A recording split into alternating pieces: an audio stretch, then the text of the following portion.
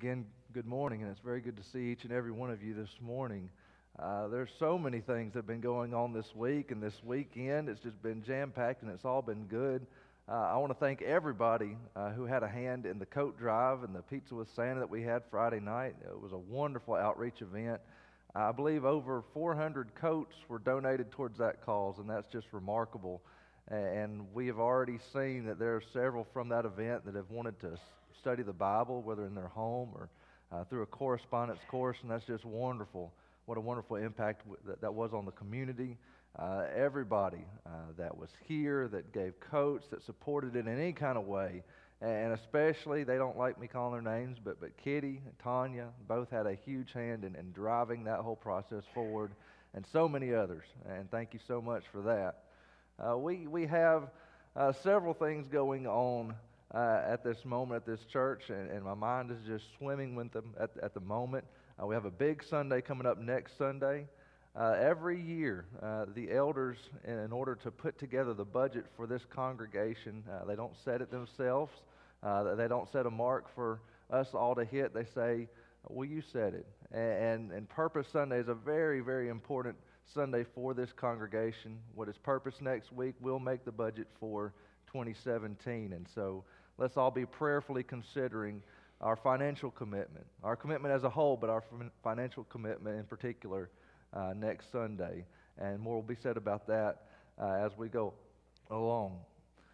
Uh, we've been doing these centurion scriptures week by week. Uh, I have the next one up for this morning up on the, the screen right now. I do just want to say a word about that as well, uh, because uh, you may have thought, well, in order to participate in that, I have to register for LADS and, and have to be a part of the convention. Well, no, you don't have to do any of that. Uh, we can do Centurion of Scripture without having to register or go through uh, any of the other LADS procedures. Uh, but we do need to sign up in some form or fashion. And so there is a Centurion sign up in the foyer this morning. If you would like to sign up to be recognized at our um, banquet that we hold here before we go or actually after we go to convention. Uh, that is in the foyer there. If you would sign up for that, you don't have to have it completed by now. It's just the commitment to complete it, and sometimes that really is helpful uh, to make a commitment. It helps us to actually reach that goal that we set for ourselves. But this morning, uh, in line with what we're going to be talking about, we have a short one Proverbs 23 26. Let's say this one together, and let's see if we can get that written on our hearts by the end of the day. Proverbs 23 26. My son, give me your heart and let your eyes observe my ways. Very good. One more time. My son, give me your heart and let your eyes observe my ways. We're talking this morning about being consumed. And it's in our series that we started last week, The Work is Great, based on 1 Chronicles chapter 29, because the work of the Lord, the work of building the Lord's house in this generation, and in particular in this community, is a great work. It's the greatest work that's ever been given anyone. And we need to realize just how great this work is because, as we said last week, the effort that we put into accomplishing a particular task is directly determined by how great or how small that we perceive that task to be. So let's see this task is great. This is a great work. We need to understand that it is great because of who it's for. It's not for us, it's for God. We're building a house for God, and that alone is what makes this work so great. When we make life all about looking out to our interests, life just doesn't work. Remember what Haggai told the people? You came right home and got to work building your houses, but life is not working, is it? You eat and you're still hungry. You drink and you're still thirsty. You buy clothes and put them on, but you are still cold. You earn wages, but you put them into a bag that has holes in it. And life just is not working for you, is it? And Jesus said in Matthew 6 and 33, you got to seek first the kingdom, and then all these other things, they, they fall into their proper places, and life works. But when we do not seek God's house first, when we do not put this work as great and primary in our lives, our lives just don't work. And we've got to focus on, focus on doing God's work first because His work is great and all these things they'll fall into their proper place. So, so, based on all these things that we read in the Word, I just want to distill it into this one statement that really pretty much covers last week. It's a pledge to make. And, and I want to say it this way the work is great, so I'm going to give it my best. The work is great, so I'm going to give it my best. I'm going to take pride in building the house of God. I'm not going to busy myself with building my own house to the neglect of building God's house. The work is great. I'm going to take pride in this work. We take pride in work, and it changes the character of the work, doesn't it? We talk about it a little bit more. We put a little bit more effort into it. I'm going to take pride in this work. We're building the house of God. And so let's make this pledge our pledge for living every single day. The work is great, and so let's look at David's response. Let's get back into the First Chronicles 29 text. Uh, we talked about verse 1 last week. And then David goes on, he explains how he made a provision of gold and silver and other precious building materials. By the way, this particular verse 2 offering is not counted. We don't know how much it was. It was uh, no doubt a large offering in and of itself. But then we go to verse 3, and I want to start picking up there. David said, Moreover, in addition to all that I've provided for the holy house, I have a treasure of my own of gold and silver, and because of my devotion to the house of my God, I give it to the house of my God. David says, I have a treasure of my own. Do you have a treasure of your own? David says, I have a treasure of my own. The word in the original language here, it means any possession that is highly valued by its owner. This is something that David valued. It wasn't something that he was giving away that he didn't really think much of. It would be okay to give this away. It's just sitting there collecting dust anyway. I won't miss it. No, he said, I have a treasure of my own. You may remember that time that David was commanded by God to raise an altar on the threshing floor of Araunah. Now, this is 2 Samuel chapter 24. And, and there has been a calamity in the land. David has committed a sin, and because of that sin, there's great distress in the land. But God comes to him and says, I will end this distress once you go and erect an altar on the threshing floor of Araunah. Now, he did not own the threshing floor of Araunah, so he comes to Araunah and he says, I want to do this on your piece of property here. Tell me how much I owe you. Now, Araunah, or bless Araunah's heart, he has a wonderful heart for God, and he says what I imagine any of us would have said. Oh, if it's for Lord, just take it. Anything that you need, take it. And I want to have a part in this offering to the Lord please, you do not owe me anything. As a matter of fact, Araunah starts looking around. It's almost like he, he's not prepared for this, but, but he's just wanting to throw in everything he can throw. How about that plow over there? We can just break that down and you can use that wood to offer up the oxen. I've got oxen back out here. You can use those. Uh, the yoke that, that put, puts the oxen together, we'll break that and you can, you can use that for wood for the offering. Araunah's just going out of his mind trying to find anything. You can use anything I have. Please take it for this offering to God. But look at verse 24. Uh, we need to have a heart like Araunah, don't we? I, I wish, whoa, just every one of us take up a heart like that. Lord, take it all. Here it is. Take it all, whatever you need. But let's look at David's response there in verse 24. But the king said to Araunah, oh. Oh well. but the king said to Araunah, No, no. I'm not going to do that. No, but I will buy you buy it from you for a price. I will not offer burnt offerings to the Lord my God that cost me nothing. I won't do that. I will not offer offerings to my Lord that cost me nothing. It defeats the whole purpose. It defeats the whole purpose of an offering if we give God something that cost us nothing. That's the purpose. God does not want our stuff. That's not the point of an offering. God does not want our stuff. God wants us. God does not want your money.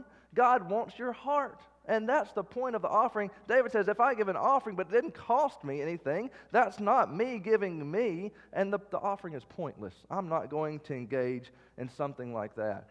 David says in 1 Chronicles chapter 29, I have a treasure of my own. Things that are valuable to me, and because of my devotion to God, I give it to the house of God. Because I am devoted to God, my treasure is devoted to God. And let's pick up in verse 4. What is this treasure? 3,000 talents of gold, the gold of Ophir, and 7,000 talents of refined silver for overlaying the walls of the house, and for all the work to be done by craftsmen, gold for the things of gold and silver for the things of silver. Who then will offer willingly, consecrating himself today to the Lord?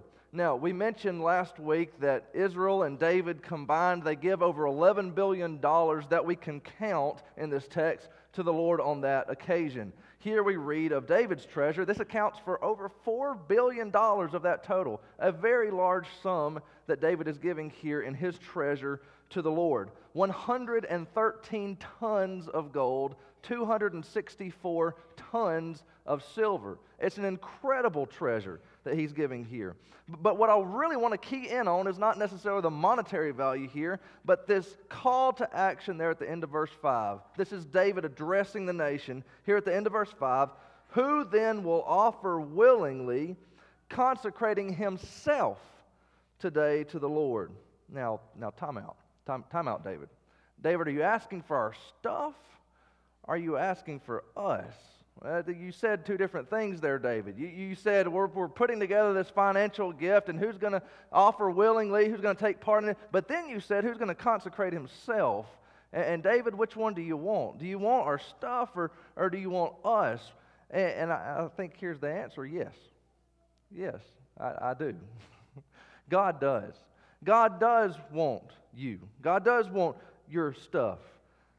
God doesn't want your stuff, He wants you. And when He has you, doesn't He have your stuff?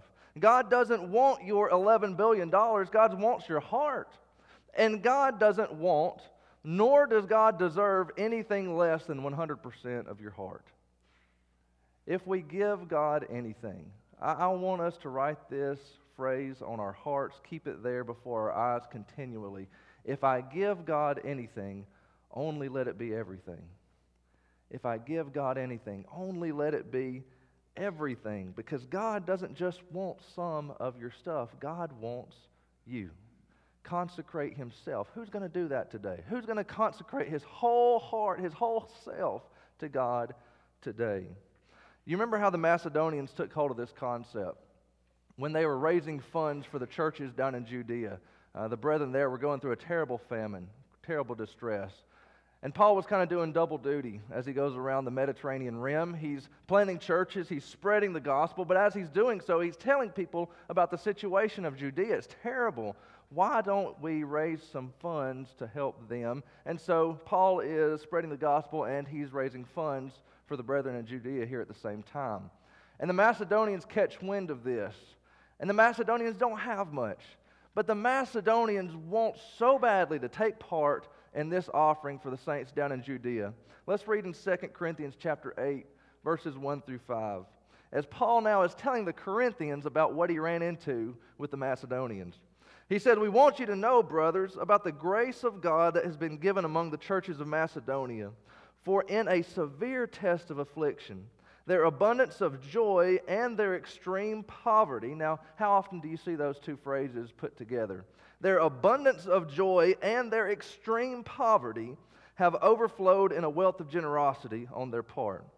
For they gave according to their means, as I can testify, and beyond their means, of their own accord, begging us, begging us earnestly for the favor of taking part in the relief of the saints. And this not as we expected, but they gave themselves first to the Lord, and then by the will of God to us. These people gave a mind blowing financial gift. Paul says, in a severe test of affliction, they were. He says they were in extreme poverty. And yet, and yet their abundance of joy overflowed in a wealth of generosity. He says they gave beyond their means. They didn't just give as much as they could, they gave more than they really could. They gave beyond their means, not because somebody asked them to, by the way, we didn't go to their doorstep raising funds for this. We knew they were in extreme poverty, but they begged us. They came to us and they begged us earnestly to let them give. Now, how about that? that that's a mind blowing financial gift. But, but here's where it starts it didn't start as a financial gift. Paul says they gave themselves first. They gave themselves first to the Lord, and then by the will of God to us.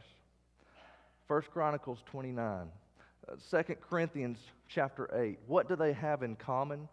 These are two incredible outpourings of financial giving that really are only symptoms of the real gift. The money was not the real gift here in both of these instances. They're symptoms of the real gift because on both occasions they first gave themselves to God and then everything else followed.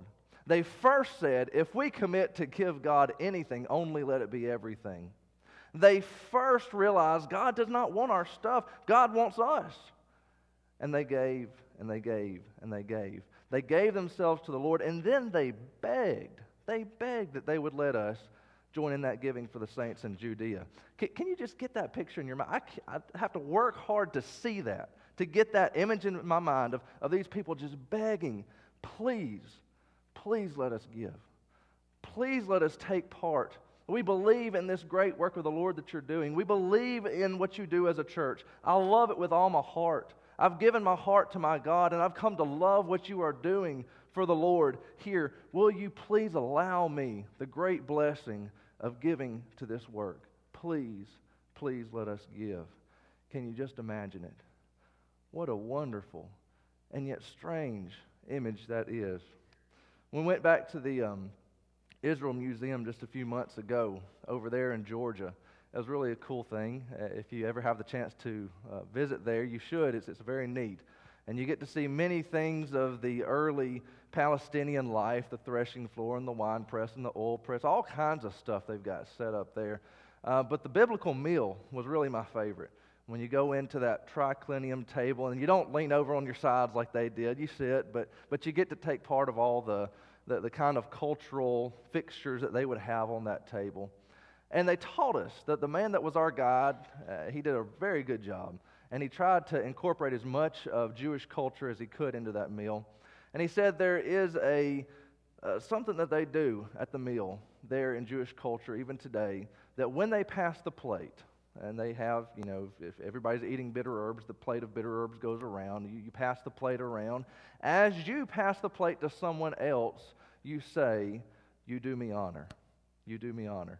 And he described, why would you say that? Why do you say you do me honor? He said this He said that they understand service to be such a blessed opportunity, such an honor to have the opportunity to serve, that when you pass the plate, that person that is receiving the plate has given you the opportunity to serve, and so they have done you honor. You do me honor. I've received an honor to serve. It says here, it says here in verse 1 that the grace of God was given to the Macedonian church. They received grace from God because they were granted. When they begged, let us give, they were granted that opportunity. And they received the grace of God. Verse 4 they begged for the favor of taking part in this offering. Now, the ESV says favor here, but the word is the same in the original language. They begged for the grace of taking part in this offering.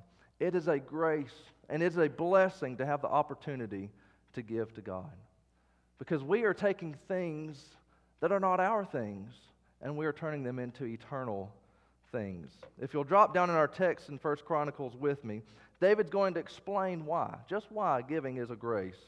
There in verse 10, we come to a prayer, and it's a beautiful prayer. It's a beautiful prayer to be prayed at any time. But David turns his eyes heavenward and he prays this in front of all the assembly. Therefore, David blessed the Lord in the presence of all the assembly, and David said, Blessed are you, O Lord, the God of Israel, our Father forever and ever. Yours, O Lord, is the greatness and the power and the glory and the victory and the majesty, for all that is in the heavens and in the earth is yours. Yours is the kingdom, O Lord, and you are exalted as head above all. Both riches and honor come from you, and you rule over all. In your hand are power and might, and in your hand it is to make great and to give strength to all. And now we thank you, our God, and praise your glorious name. But who am I? And what is my people that we should be able thus to offer willingly? For all things come from you, and of your own we have given you. For we are strangers before you and sojourners as all our fathers were. Our days on the earth are like a shadow, and there's no abiding. O Lord our God, all this abundance that we have provided for building you a house for your holy name comes from your hand and is all your own. I want you to notice how this one particular thought is just packed into every corner of this prayer, and that is everything belongs to God. Everything belongs to God. Verse 11 all that's in the heavens and in the earth, it's yours. Verse 12 both riches and honor come from you. In your hand it is to make great and to give strength to all. Verse 14 all things come from you. Verse 16 all this abundance that we have provided for building you a house for your holy name comes from your hand. It's all your own. And then right there, right there in the middle of the prayer, back to verse 14, I want, to see, I want us to see the attitude that fueled the whole thing. This is the reason that the Macedonians begged to give. Verse 14, David says it, But who am I? But who am I and what is my people? That we should be able to thus offer willingly. For all things come from you, and on your own, of your own we have given to you. Who am I? Who am I? Casting Crowns has this song out entitled Who Am I? It's been covered several times. Uh, it was uh, done by the Pepperdine Singing Group, one by one, and that's I have that on CD. It's a beautiful, beautiful song, one of my favorites. I want to read to you the chorus of that song. Who am I? It goes, Not because of who I am, but because of what you've done. Not because of what I've done, but because of who you are. I am a flower quickly fading. Here today and gone tomorrow, a wave tossed in the ocean, a vapor in the wind. Still, you hear me when I'm calling. Lord, you catch me when I'm falling, and you've told me who I am. I'm yours. Who am I? I'm the Lord's. That's who I am. Who am I? I'm the Lord's. David says, Who am I? Who am I to bless you? Who am I to have this opportunity of grace to take that which is eternally worthless and turn it into a thing, a gift of eternal value? Who am I to be able to do that? Who am I, Lord? Because you know, you know that all I've done is taken what is yours and given it back to you. All things come from you. Of your own we have given to you. Who am I? You see, this is the recognition that all things belong to God and that it is a great grace of God that we can use these things for His eternal purposes. That is the recognition that drives truly extraordinary givers. When we come to this recognition that who am I? Because all things come from Him. The Word is consumed. The Word is consumed.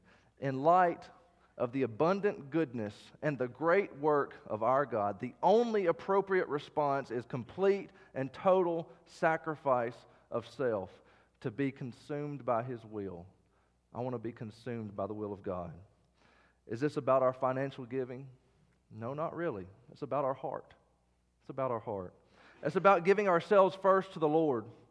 It's about making the pledge if I commit to give God anything, only let it be everything. It's about recognizing that all things belong to God, including myself. Is it going to show itself in my financial giving? Naturally, of course. Of course it will. In light of everything that we have studied, I understand now giving to be a grace. I, and, and it's not a grace that I bestow upon the Lord, it's the other way around. It's a grace that the Lord bestows upon me to have this opportunity to take part, to partner in His work in this world, to participate in the eternal kingdom of God, where the, where the Father and the children, they love one another and they share in all things, and where the children take every opportunity to show glory and honor to the Father. What a grace. What a blessing to take part in this kingdom. We want to be a people consumed by the Father's will in all things. Because who are we apart from them? If you would please pray with me. Father, we love you and we thank you so much for all things. We, we thank you for your overwhelming, abundant blessings in our lives. Father, we, we realize that just to be in your kingdom, just to participate in the eternal kingdom that will be forever and ever and which the gates of hell will never come against, never have victory over. Father, we are incredibly blessed. And Father, we thank you for the great grace of taking part in this kingdom.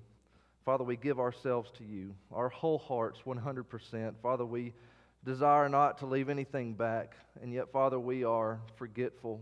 Father, we have tendencies of selfishness, tendencies of pride. Father, we pray that you wage a, a war and a victory over these. Help us to, to rend our entire hearts over to you. And Father, please help us when we fall short. Please pick us back up and help us back along the way and, and remind us constantly that we are yours and we are nothing apart from you. Father, we, we pray that you would use our offerings in, in a glorious manner. We, we pray, that, pray that you would use our, our entire selves, put us into your service, and bring others to you through us, and strengthen us through one another. Father, use us for your purposes. We desire to be used up in them. Father, we pray all these things in your Son, Jesus' name. Amen. If you're here this morning and your life does not belong to this Lord, won't you give it to Him? He looked to you and He gave the very same promise. God said, If I look to commit anything to this people, only let it be everything. And He gave everything the glories of heaven, the, the, the, the peace and the security of being who He is, God Almighty. He laid it down and He came and He suffered and He gave everything for you. Won't you put your life in His hands? I can't think of any better place to put it. If you're here this morning, you're not a Christian, won't you come to Him by faith, trusting Him with your life, saying, I'm now going to live according to your ways. I'm following you. I look to you in all things, which means a matter of repentance. I'm no longer going to live my way. I'm no longer going to live against your way. I'm following you and I'm making a 180. I'm turning around, Lord, and I'm following you. And you are who you say you are. I've come to know you are Jesus Christ, the Son of God. I need your blood. I need the washing that is only made available by the sacrifice of your blood. And so, won't you come to the waters of baptism and be immersed in it? If you have need to come to Him and become a Christian this morning, please come. If you are a Christian and yet you've wandered away, if you've gotten off the path, if you need to make something right, if you need to confess sins, if you need the strength of your brethren here, we'll be glad to pray over you and strengthen you. We love you.